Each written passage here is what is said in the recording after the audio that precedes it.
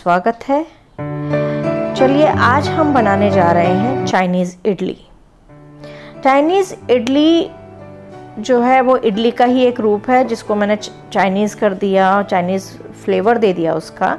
और ये बच्चों को बहुत पसंद आती है आप इसको टिफ़िन में भी दे सकते हो, आप इसको स्टार्टर के रूप में भी यूज़ कर सकते हो। चलिए शुरू करते हैं। इडली बनाने के लिए हमने सबसे पहले ली है सूजी, एक कप एक कप दही और एक बोल में हम पहले दही डालेंगे और उसमें ही हम एक कप सूजी मिलाएँगे और इसको अच्छी तरह से मिक्स कर लेंगे। अच्छी तरह मिक्स करके और इसको थोड़ी देर के लिए अब हम इसको उठ रख देंगे ताकि ये थोड़ी सेट हो जाए, सूजी फूल जाए, जितना गाढ़ा होना है वो उतना गाढ़ा हो जाए।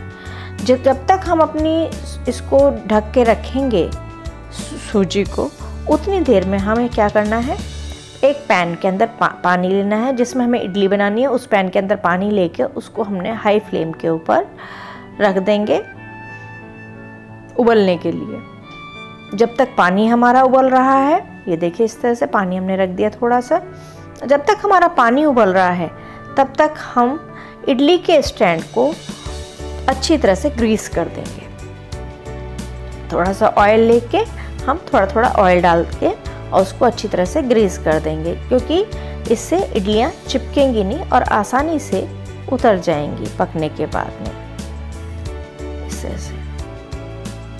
और इसको ग्रीस करके हम रख लेंगे देखिए इडली का बैटर जो है अब हमारा इस तरह से हो गया है।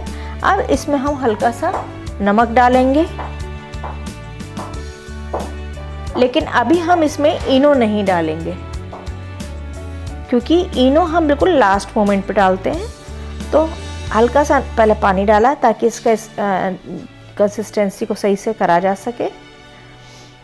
इसके बाद में ये देखिए अभी पूरी तरह से ये अभी गाढ़ा ही है। इसको ये और पतला होगा लेकिन वो हम जब इनो डालेंगे तब थोड़ा सा पानी डाल देंगे जिससे कि वो पतला हो जाएगा। लेकिन उससे पहले हम पहले नमक डालेंगे टेस्ट के अनुसार जिसका जो टेस्ट है उस हिसाब से हल्का सा नमक डाल देंगे हम इसे। बहुत ज़्यादा तेज़ नमक नहीं करते हैं क्योंकि सब्जियों में भी नमक डलेगा। इसके बाद इसको अच्छी तरह से मिक्स कर लेंगे। अब चेक करेंगे कि हमारा पानी जो है वो उबलने को तैयार है या नहीं है क्योंकि हम इनो उसी वक्त डालेंगे जब हमारा पानी बिल्कुल बॉइलिंग पॉइंट पर आ जाएगा। तो देखिए ये हमारा जो पानी है वो बॉइलिंग पॉइंट पर आ, आ गया है। किसी भी क्षण वो अब उबलने वाला है। तो बिल्कुल एंड टाइम पे हम इनो डालेंगे। इनो हमने एक चम्मच लिया है।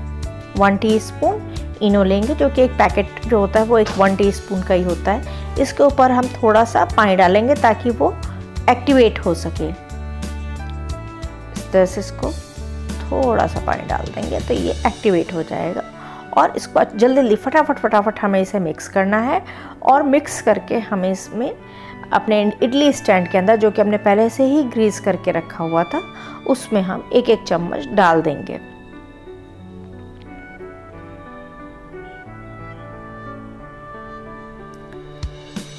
देखिए एक एक चम्मच मैंने इसमें डाल दिया है।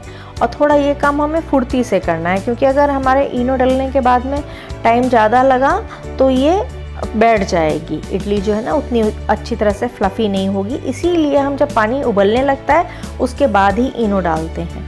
और इसके बाद इसको हम स्टैंड को पानी में इस तरह से हम सेट कर देंगे। जो जिनके पास ये इडली स्टैंड नहीं है, वो कुकर के अंदर भी इडली स्टैंड रख कर इडली बना सकते हैं। तो इस तरह से हमने इसको 10-15 मिनट के लिए पकने के लिए रख दिया। जब 15 मिनट के बाद एक बात का और ध्यान रखिएगा कि जो फ्लेम है वो हम धीमी कर देंगे और 15 मिनट के बाद हम चेक करेंगे कि ये पक गई या नहीं पक गई। तो उसके लिए हमने नाइफ़ को उसके अंदर इंसर्ट किया और जब निकाला तो वो साफ़ निकला, उससे पता चल जाता कि हमारी इडली पक गई है। अब इडली को हम छोटे छोटे पीसेस में काट के रख लेंगे। ज़्यादा बड़े बड़े पीस इसलिए नहीं करते कि चार पीस इसीलिए करते हैं कि थोड़ा छोटी रहती है तो सब्ज़ी अच्छी तरह से उसमें मिक्स होती है सॉसेस भी अच्छी तरह से मिक्स हो जाते हैं। अब हम सब्ज़ी लेंगे कितने? देखिए, ये मैंने लिया है एक शिमला मिर्च ली है काट के पतली है, इसको भी पतला पतला काट लिया है। मैंने एक गाजर ली है, उसको मैंने ग्रेट कर लिया है मोटे कद्दूकस के अंदर। पतले कद्दूकस से उसका भुलता सा बन जाएगा, इसलिए हमने बड़े कद्दूकस में, या फिर इसको पतला पतला लंबा लंबा काट लें आप। इसके अलावा हमने आधी बंद गोभी ली है। आप चाहें तो अपनी सब्जियों को बढ़ा भी सकते हैं। आपकी मर्ज़ी है, सब्ज़ियाँ जितना ज़्यादा हो उतनी अच्छी। इसमें आप चाहें तो ग्रीन चिलीज़ को भी काट के डाल सकते हैं। मेरे बच्चे नहीं खाते, इसलिए मैंने नहीं डाली। आप, ये चीज़ें आपके लिए आपकी इच्छा के अनुसार है। इसके अलावा हमने लिया है वन टेबल स्पून गार्लिक, जो कि छः सात गार्लिक मोटे मोटे अगर हों तो उससे हो जाता है। अब हीट मैंने गैस पे पैन रखा और पैन में मैंने दो टेबल चमचे घी के डाले हैं। मतलब कि ऑयल के डाले हैं। ऑयल आप कोई सा भी यूज़ कर सकते हैं रिफाइंड ऑयल भी यूज़ कर सकते हैं या फिर कुकिंग का जो आपका जैतून का तेल है वो भी इस्तेमाल कर सकते हैं। जैसे ही आपका तेल गर्म होता है तो उसमें हम ये इस तरह से अपनी कटी हुई लहसुन को डाल देते हैं। इसको हल्का हल्का भूनेंगे ज़्यादा ज़्यादा नहीं भूनना है। बिल्कुल हल्का हल्का गुलाबी होने के बाद में अब इसमें हम प्याज डाल देंगे और प्याज को भी सॉटे कर लेंगे।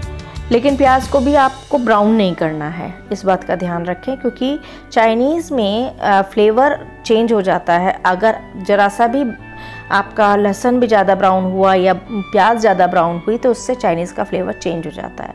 तो इसलिए बहुत ज़्यादा नहीं करना है, इसको पिंक ही रखना है हमें। बिल्कुल हल्का हल्का फ्राई करना है और फ्राई करने के बाद में अब इसमें हम अपनी बाकी की सब्ज़ी डालेंगे। तो पहले हम पत्ता गोभी और शिमला मिर्च को डालेंगे। गाजर को हम नहीं डालेंगे। देखिए इस से हमने शिमला मिर्च डाल दी और पत्ता गोभी थोड़ा सा इसको चलाने के बाद में फिर हम पत्ता गोभी मिक्स कर लेंगे। इस तरह से। अगर आपने गाजर को पतला पतला लंबा काटा है, कद्दूकस नहीं किया है तो आप गाजर भी इसी समय डाल देंगे। लेकिन मैंने क्योंकि ग्रेट कर रखी है तो मैं उसको बाद में डालूँगी अब दो तीन मिनट के लिए हम इसे सिम पर ढककर पका लेंगे, ताकि हमारी सब्ज़ी थोड़ी सॉफ्ट हो जाए। देखिए, हमारी सब्ज़ी थोड़ी सी सॉफ्ट हो गई है। उतनी टाइट नहीं है कचकची नहीं है। तो अब इसमें, इस समय पर अब हम गाजर मिला लेंगे। तो अपनी तो इस, वो भी थोड़ी सॉफ्ट हो जाएगी, इसे मिला के, और इसको थोड़ा सा फ्राई करेंगे। फ्राई करने के बाद में ये अच्छी तरह से मिक्स हो जाएगी और थोड़ी सॉफ्ट भी हो जाएगी। फ्लेम हमारी तेज ही रहेगी। अब इसमें हम डालेंगे नमक। नमक डालते समय आप ये ध्यान रखिए कि जो भी आपका टेस्ट है, उसके हिसाब से नमक डालें, लेकिन थोड़ा सा कम डालें, क्योंकि अजीना मोटो जो हम डाल इसमें यूज़ करेंगे चाइनीज़ डिशेज़ में सब में यूज़ होता है तो जब हम अजीना मोटो यूज़ करेंगे, वो थोड़ा ज़्यादा नमकीन होता है। तो इसलिए हम इसको तो नमक को थोड़ा कम रखेंगे और नमक के अलावा अब हम इसमें डालेंगे काली मिर्च। काली मिर्च हम वन टीस्पून के करीब डाल देंगे इसके अंदर और इसको मिक्स कर लेंगे। इसके अलावा हम इस, इस समय इसमें डालेंगे अजीना मोटो। अजीना मोटो भी हम इसी समय सब्ज़ी में ही डाल देंगे और वन टीस्पून के करीब हम इसमें अजीना मोटो डाल सकते हैं। आप अगर हेल्थ पॉइंट ऑफ़ व्यू से देखें तो आप इसको स्किप भी कर सकते हैं। को अच्छी तरह से मिक्स करेंगे हम। इस समय हमारी जो फ्लेम है वो हाई पे है और हाई फ्लेम पे ही हम इसको अच्छी तरह से मिक्स करेंगे। मिक्स करने के बाद में अब बारी आती है सॉसेस की। तो सॉसेस जो हैं, अब वो हम सबसे ज़्यादा इसके अंदर टमाटो सॉस डलता है। तो इसलिए हम डालेंगे तीन टेबल स्पून टमाटो सॉस ताकि इसमें मिठास आ सके।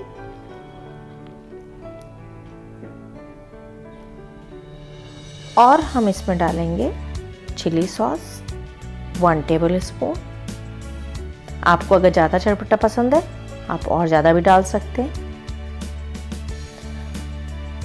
विनीगर वन टेबल स्पून लेकिन एक चीज़ है विनेगर आप ज़्यादा मत डालिएगा।